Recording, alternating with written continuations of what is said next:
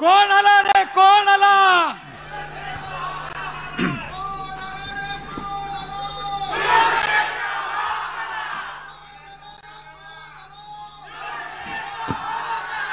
जमलेल्या माझ्या तमाम हिंदू बांधवांनो भगिनी माता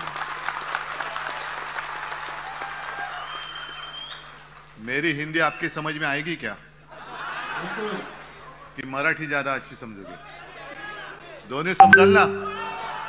आपलं हिंदुत्व म्हणतात. जो एक दूसरे में भेद करते हैं, उसको हिंदुत्व नहीं कहा जाता।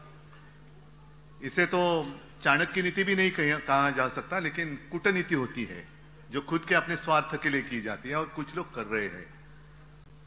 बहुत दिनों के बाद थाने में आया हूँ। ऐसे नहीं कि पहली बार मैं गडकरी में गडकरी रंगायतन में आया हूँ। कई बार आया हूँ। जैसे संजय जी ने कहा कि ये गडकरी रंगायतन भी आदरणीय बाला साहब जी की देन है। और मुझे याद है अडसष्ट या किती राजन असेल अडसष्ट एकोणसत्तर सदुसष्ट साल असेल। नगर निगम के चुनाव होने जा रहे थे। और एक जनसभा में, विराट जनसभा थी। एक पर्चा आ गया, ऐसी चिट्ठी आ गई। बाला साहब भाषण कर रहे थे। और उसमें लिखा था कि थाने में नाट्य गृह नहीं है। तो बाला साहब ने कहा, आप सारे लोग मिलकर मेरी शिवसेना को सत्ता दे दो, मैं आपको नाट्य गृह दे दूँगा।